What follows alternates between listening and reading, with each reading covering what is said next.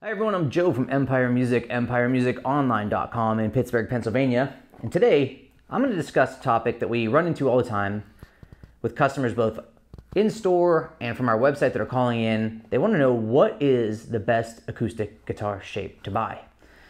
And this is a question that all of us will run into as we look at acoustic guitars. And I wanted to kind of tackle it today in broad strokes, showing off some of the brands that we have.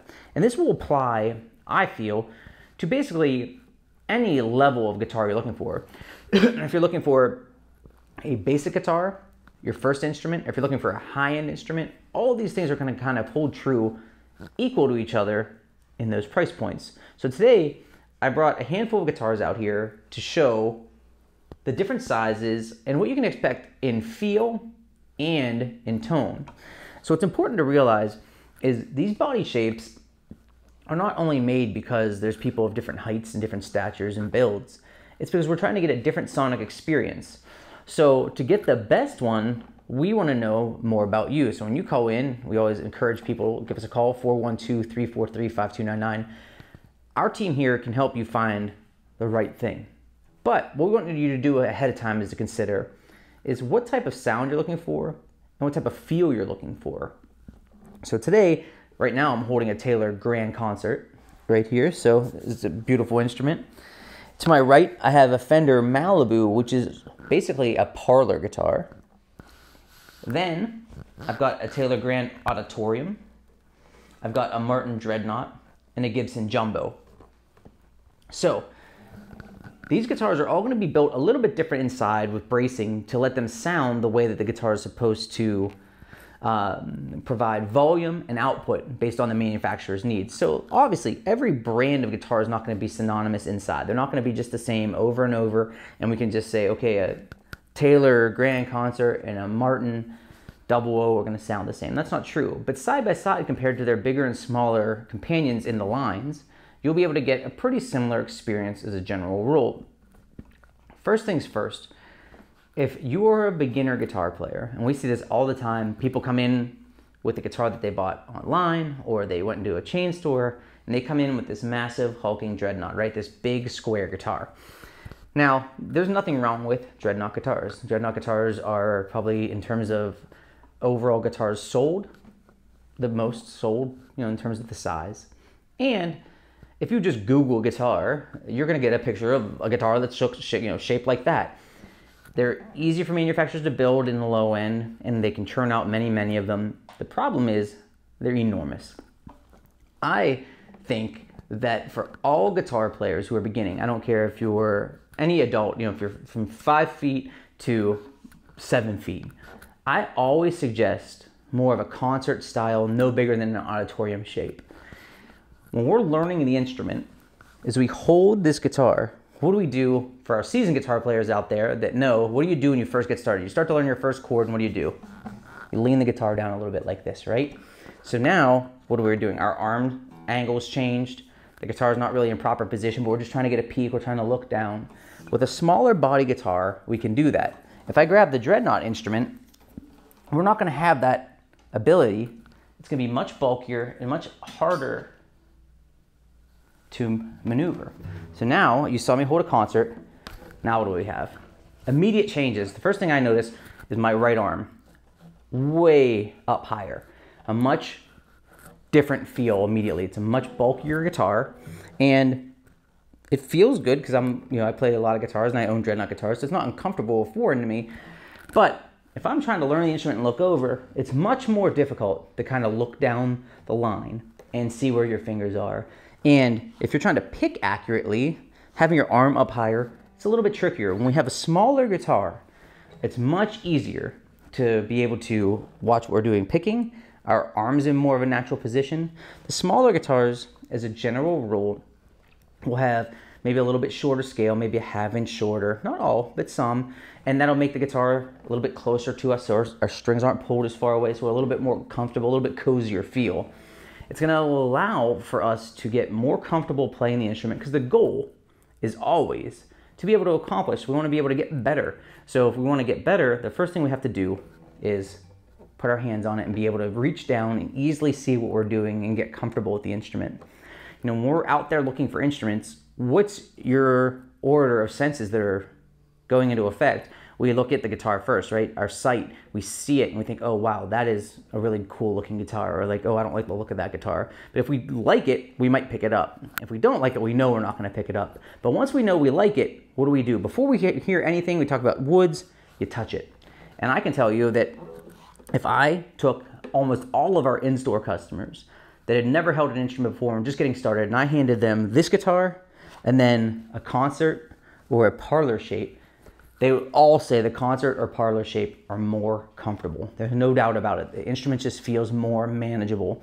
Now, you're going to get a different tonal experience out of these instruments, and assuming that they're equal um, quality builds and equal tone woods, this guitar will be more loud and this guitar will have more headroom. So if we want to strum it extra heavy, we can do that.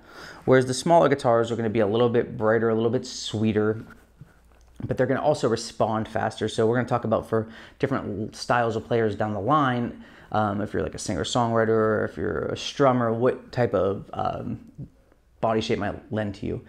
But for a beginner, it does not matter what a guitar really, really sounds like. I'm a huge proponent of it first being comfortable and being easy to play. You have to make sure that you're selecting a guitar from a guitar store that has taken the time to do a full factory setup on the instrument. At Empire, it doesn't make a difference if you buy this beautiful Martin or an entry level $200 acoustic guitar. We do a full factory setup on the instrument. That makes sure that the neck is straight, that the strings are low to the fretboard, and it's easy to play. So I can go through a whole story about the tone woods and the build quality and all these important things. But if our strings are difficult to play and we haven't adjusted the instrument for a player, they're not going to enjoy playing it. That doesn't make a difference if you're a beginner or a seasoned player. The big difference is for seasoned players, you're going to play the guitar go, oh, this needs a setup. And it's not going to be the end of the world for you. You're going to want the guitar to be set up. Not, not the end of the world. But if you're a beginner, you might not know that. And you're going to go, oh gosh, this guitar is really hard to play, or guitar is hard. And once we hear guitar is hard, and we hear that in the store often. Someone buys a, a guitar from Amazon, or it's a, you know an inexpensive guitar from a chain store that's never been looked at. Well, let's take a look at that instrument. Is it a good shape for you? And has it been adjusted? So we take care of all of that stuff for you.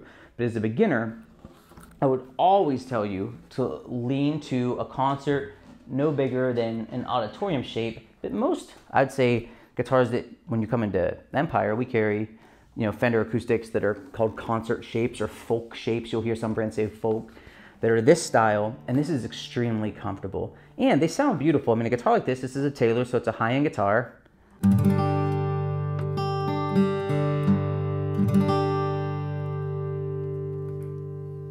It's super balanced, it's real even. Is it the loudest, bassiest guitar you've heard of all time? It is not the loudest, bassiest guitar of all time. If you find yourself as a beginner wanting the loudest, bassiest guitar, it's all tell then you can buy an instrument like that. There's nothing wrong with it. I feel, and especially we have a big lesson program here, so when we're not in typical lockdown, we do 450, 500 private lessons a week. So we get many, many players of all ages and abilities. And I find that the players that stick with them the most have an instrument more along these lines. They're just more comfortable to play. And if we play an instrument this size and we play that for six months or a year or however long you like to, you know, take your lessons and learn. As you become more seasoned, then these guitars aren't going to feel so out of reach. They're not going to feel so difficult to hold. You're going to have a working knowledge, but you're going to know how to play that G chord or that pesky F chord that's hard to play. We're not going to have trouble doing that anymore. We're going to be able to have done it. And then as we move it to a bigger guitar, now it's okay, we can do that because we're not so worried about looking down at our fingers, we can accomplish right away. And I think that's very, very important is our goal is to get better faster. And that doesn't mean getting stuck in the same place forever just for the sake of having a big loud guitar. This is, you know, one of those things where it's like if you're a beginner, you want to pick a guitar for yourself. It's always cool to have help from buddies that play and things like that. But we want to make sure is that when you're beginning that you can accomplish and you can learn because whatever guitar you buy as your first guitar, if you end up being a lifelong guitar player, I can promise you, you're not going to own just one guitar. You're going to own many, many guitars over your lifetime, and you're going to have the ability to buy all different types of shapes and sizes in all the different price ranges. Um, this concert, like I said, is something that you'll find in most brands, regardless of your price, from you know 200-ish dollars up. Um, the parlor shape, which is even a little bit smaller, And this is a very popular instrument that we have from Fender. This is a Fender Malibu. You can see this one's even smaller. The body shape is tinier. So who would this something like this be good for? Well, obviously, as you hold this, this is even more comfortable to hold than the Grand Concert. I don't think that this would, you know, the Grand Concert would be like so bulky. But if you're a little bit shorter in stature or everybody has different kind of combination of height, right? How much leg height you have versus how much torso height you have. Some people have shorter torsos and they want something a little bit more snug for their body. This is great. And what's cool about these is these guitars will be real kind of like crisp and alive. So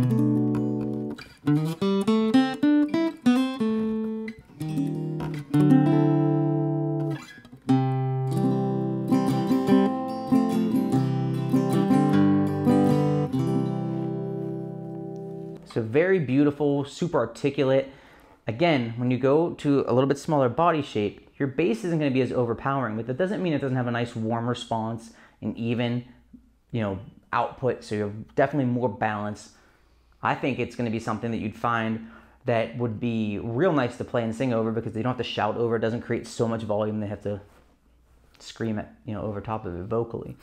So if you choose something like this, this is definitely an outlier. These aren't as popular, but if I would say if you have someone that you're purchasing for in your life that is younger, that is wingspan is long enough for a full-size guitar, but you can't because they're playing these big square guitars and they can't reach, so it shoves the guitar away from them, makes it difficult. Consider a parlor instrument. Fender makes some beautiful ones. There's many brands out there, but we have a great selection of these guys, and we find them always to be successful choices for, for many students and people who are beginning. Otherwise, a concert shape would be more of a traditional choice for a beginner. Now, let's say you tell me, Joe, I just need a little bit more volume. I need more output. Well, then you'd want to go with something like an auditorium. This is the Taylor Grand Auditorium. We also have Martin makes triple O and orchestra styles that we stock. Or, you know, Gibson has models in this shape.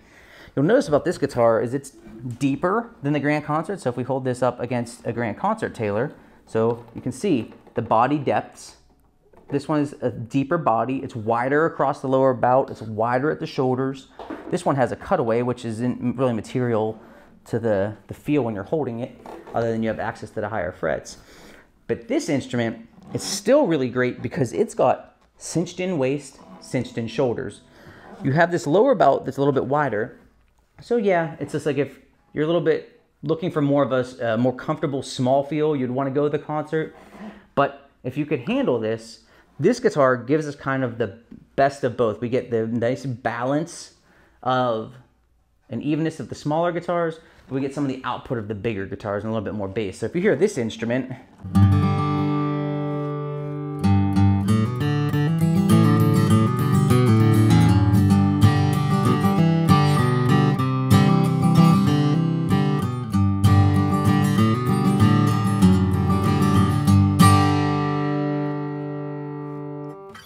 you notice kind of right away? Definitely louder. It's a little bit fuller sounding. There's no denying that. There's more bass. The bass is punchier. Now this guitar has rosewood. All the different tone woods are going to impact these body shapes.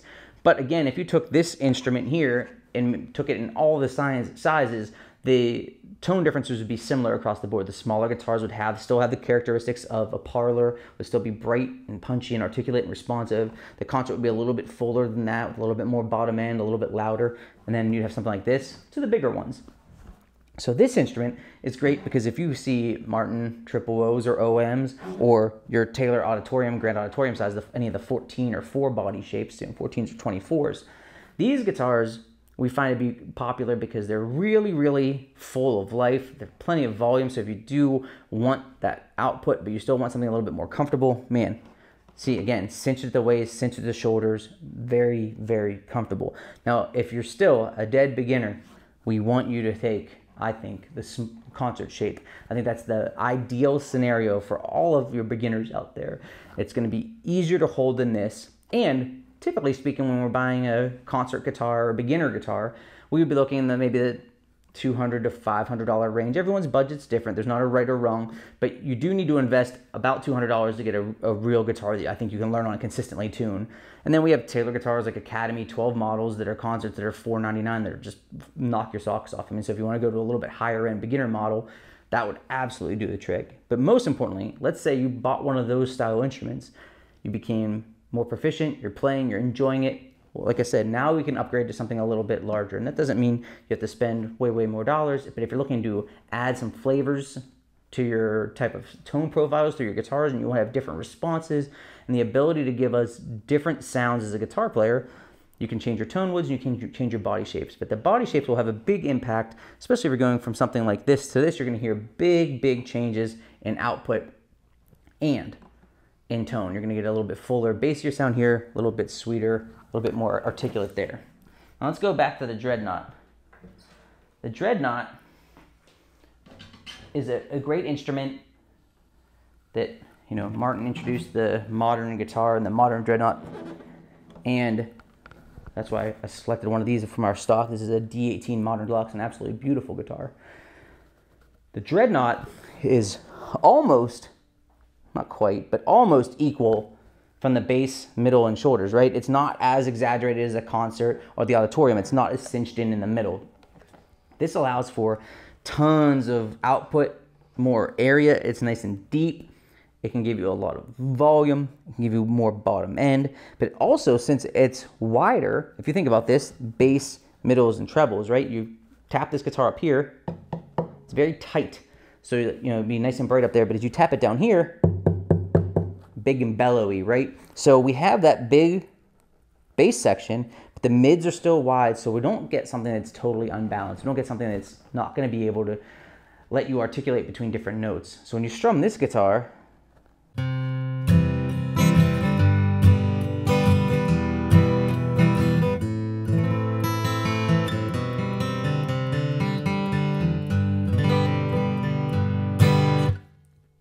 have a D18. It's one of my favorite guitars. I love it.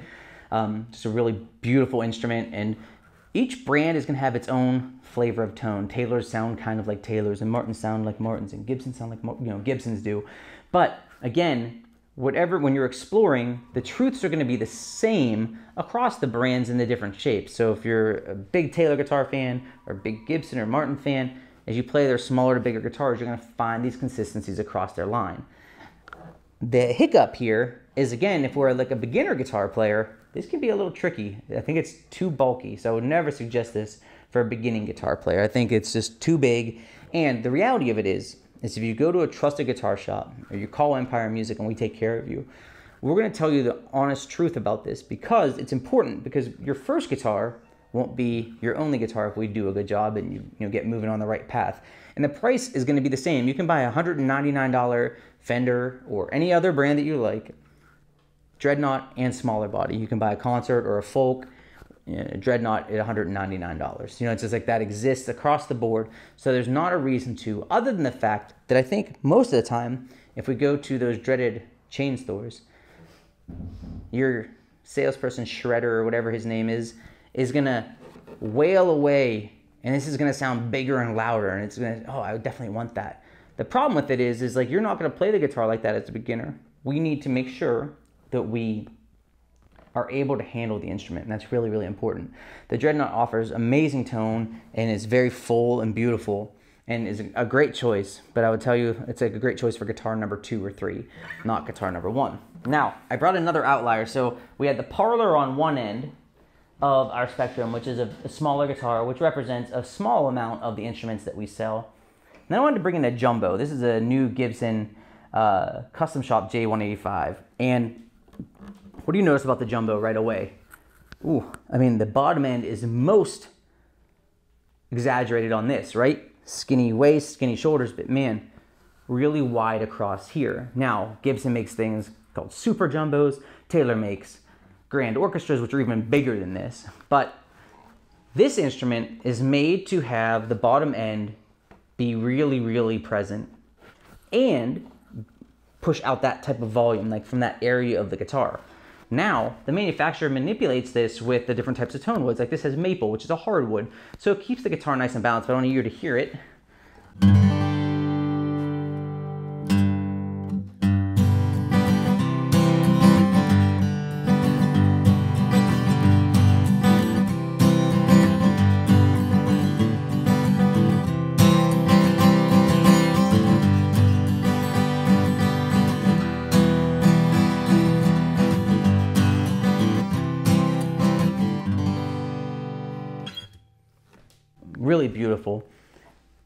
Bass is super present. This guitar is actually pretty comfortable to hold in the grand scheme of things. As wide as this is, again, where it's on my leg, where I'm holding the instrument, we don't have to worry about it being too bulky here. I think, I think that's the biggest thing to realize with a dreadnought guitar is it's kind of square across. With the other shapes, we have kind of like that hourglass figure that will be in different proportions depending on the size of the instrument. So this is still comfortable through the middle of the guitar. Now, if you are looking, again, if you're playing like acoustic guitar in a bluegrass outfit where you're playing not plugged in and you need enough output, you're definitely going to want to go with a jumbo or a dreadnought. That's what these instruments, these are classic instruments. And if you think about when these guitars were initially designed, you know, it's like these instruments here, dreadnought uh, Martins, you know, Martin invented a modern guitar in 1833. Um, you know, it's just like you have shapes like this that were introduced, and then this is like a 1950s style Gibson. What didn't we have? We didn't have acoustic electric guitars. We didn't have the ability to go, oh, hey, we're going to plug into an amplifier or a PA system and get louder. Um, so if you're looking for that experience, or you're miking a guitar in a studio and you want that big, full, robust tone, this is absolutely where you want to live. And as a seasoned guitar player, that wouldn't, you know, these shapes are going to be things that you're comfortable with and definitely be able to manage. Obviously, you would know that ahead of time, but it would give you those beefier tones and let you sound great. The auditorium shapes from Taylor, which are their signature shape, is great because many of these guitars come with electronics from all the brands. So if you do want the sound of a you know different shaped guitar and you want to be loud enough, we're going to be able to plug in. So if you're obviously in a studio and recording, any of these would work because we can mic, mic it. But if we're getting together and we're playing at friends' houses or we're playing open mics or performing on the weekends, whatever it might be for you, the ability to plug in is a must in those instances. So at that point, how loud a guitar is isn't that important. And this is what I tell everyone kind of face to face. It's almost like looking at a wall of TVs at a place you could select TVs. Could you imagine having a big 80 inch TV, which it sounds awesome, but imagine if it wasn't high definition? So that's kind of like a big square guitar here that if it's not braced right, you have to be really careful that you're getting something that is going to be nice and even. Now these are obviously made to a very high level, so you'll get that HD experience as well. But I'd rather have, if I had a choice between an 80 inch TV that was kind of blurry versus a 45 inch TV that was crystal clear, I'd choose that. And these smaller guitars will give you more of that definition. This, again, you know, it's like very even through.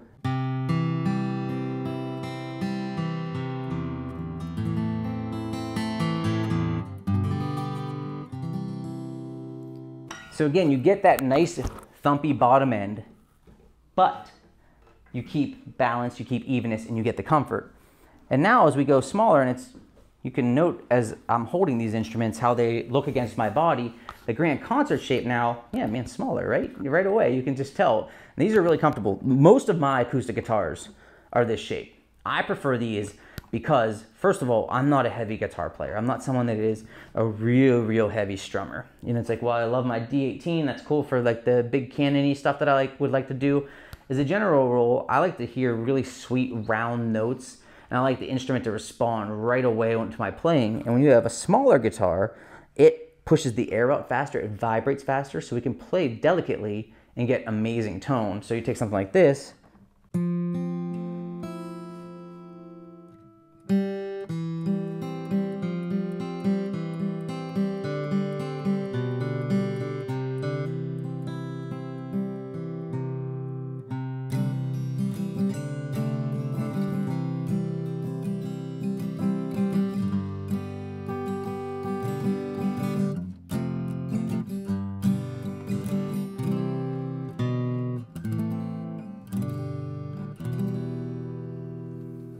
These just feel great and they sound amazing with like no effort. So if you like to play softly, and I always think of this as more of like a singer-songwriter guitar, if you like to play and sing, your voice isn't gonna be pressed to get over this. We're not gonna be shouting above the guitar, which really helps our pitch and obviously you know, keeps our throat safe and all that stuff from not having to scream but the guitar is going to be more even and they can definitely have plenty of bottom end regardless of your price range they're not going to be super tinny if you choose quality instruments and there are good instruments and great instruments at $200. The expectation for those is a little different than if obviously you're spending $2,000.